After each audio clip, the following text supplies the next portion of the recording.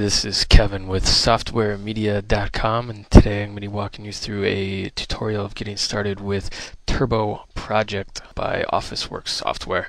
This is a uh, basic project management and uh, scheduling suite uh, with a few different variations. Today I'm going to be using Turbo Project 4 the standard version, which sells for $79 on our website.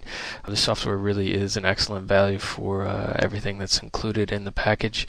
If we uh, tab over to Microsoft Office Project 2007, you can see that the uh, base price here starts at 400 $100 for Project 2007 compared to just $79 for Turbo Project 4 Standard. And like I said, a lot of the same features.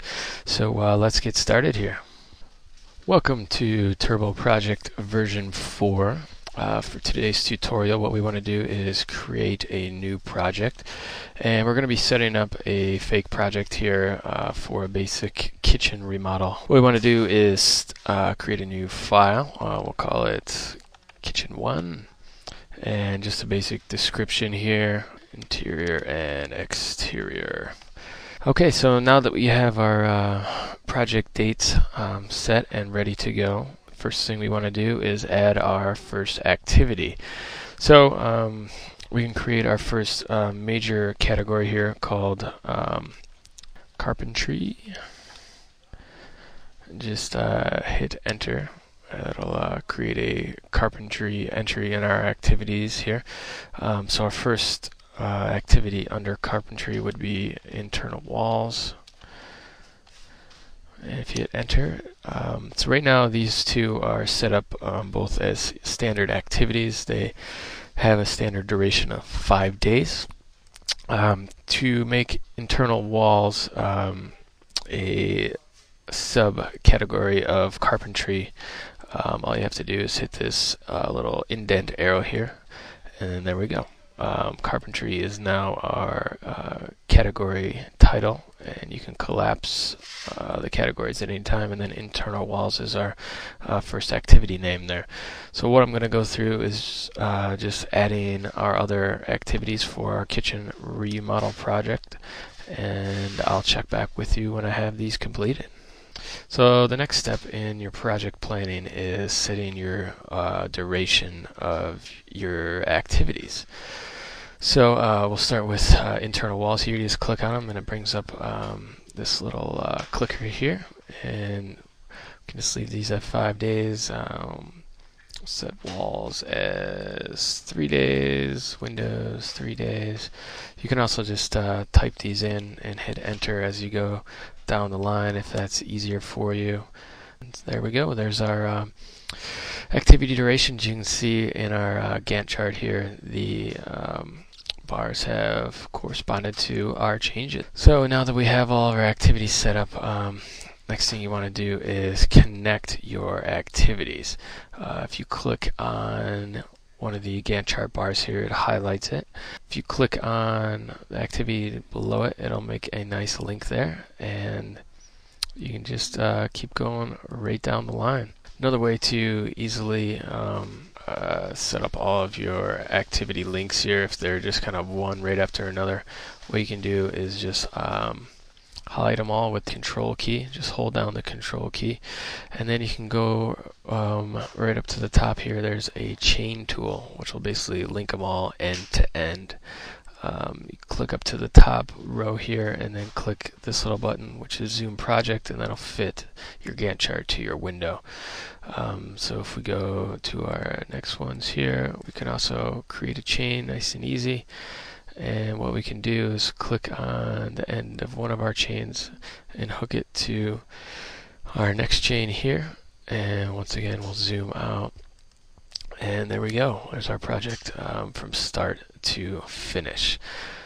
Okay, now that we have all of our activities entered and all of our chains built, uh, you can see our complete Gantt timeline here. Uh, this green line indicates today's date, and you can see that uh, Turbo Project automatically calculated our end date as June 11th, 2009. So if you're going through and you um, put in all your activities and you decided that you don't want your project to end on June 11th, you can go through and just make some tweaks, um, do a little bit of project management as you're going along here.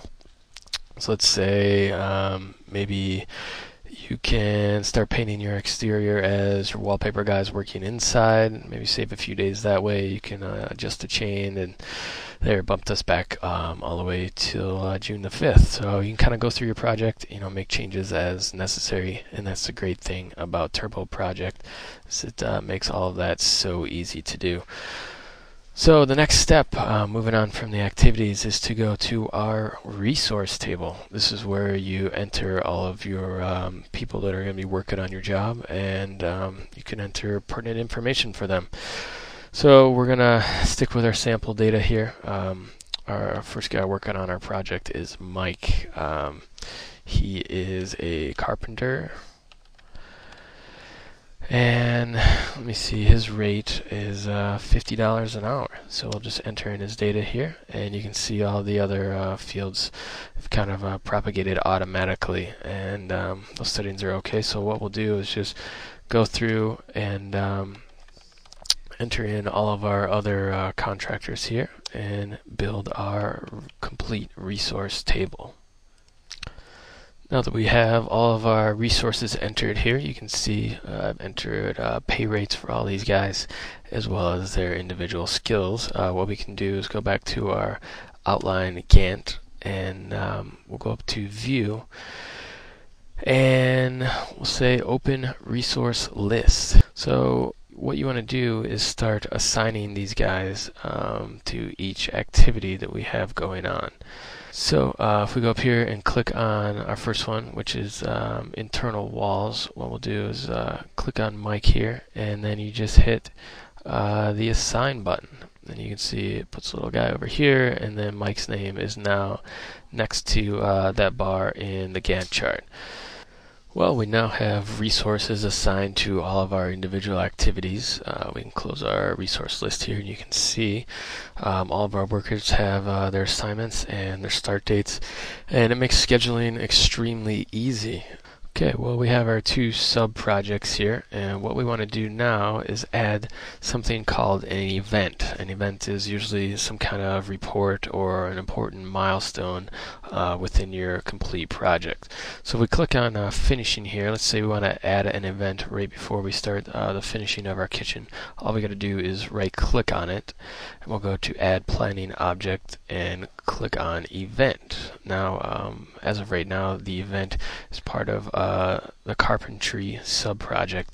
Uh, so once again, we'll use the uh, outdent button to make it its uh, own specific event. So uh, we'll type in an, an, event here. We'll say um, progress report due, and there we go. So we want to do is uh, link our event to our uh, other flow of activities here. So we'll click on the one prior to it, which is install doors, and we'll just join a chain to it um, with the chain tool. And there we go. It's uh, right in line um, with our Gantt chart and kind of flows right through. So that's how you add an event.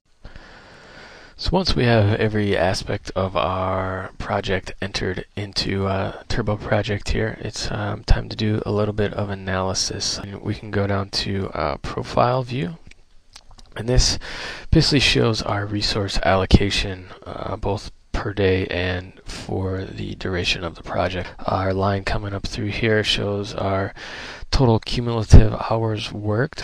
So uh, that's uh, basically how to get started here with um, Turbo Project. Uh, there's obviously a lot more um, to go into as far as project analysis, um, but we can go ahead and print some um, reports based on what we've done so far. So if you hit print preview, it brings up a box here. I think it's cutting off part of your screen, but uh, you can see it uh, lays it out very nicely for you. And uh, so again, this is uh, Turbo Project version 4, and my name's Kevin with SoftwareMedia.com. We'll see you next time.